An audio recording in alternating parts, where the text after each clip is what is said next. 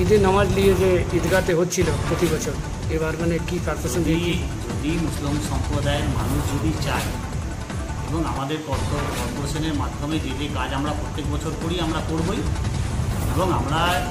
প্রত্যেক মসজিদের সামনে আমরা বলেছি পরিষ্কার পরিচ্ছন্ন করে ব্লিচিং চুন ব্লিচিং ছড়িয়ে দিতে, এবং আমরা প্রত্যেকটি মসজিদকে আমরা স্যানিটাইজ করতে বলে দিয়েছি। যাতে স্যানিটাইজের মধ্যেখানে প্রত্যেক মানুষ যেন সুস্থভাবে এসে